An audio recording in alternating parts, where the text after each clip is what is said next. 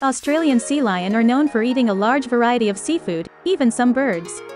Their colonies are spread across various coasts of Australia and about 50 surrounding islands.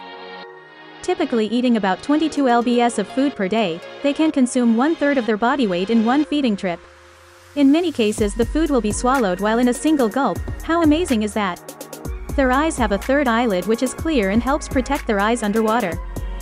As member of the eared seal group, they have small external ears.